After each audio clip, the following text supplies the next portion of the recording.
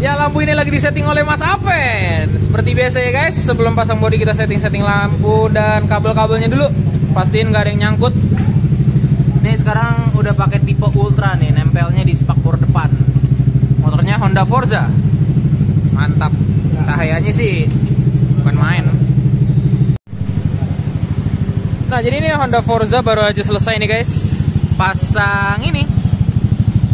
Drake Mini Max tipe Ultra lampunya ya gila. Tuh terang bener terang. Coba mainin modenya bang. Boleh boleh aja. Anjay. Coba mainin lampu kuningnya. Tuh gila bos. Modenya? Oh, anjay.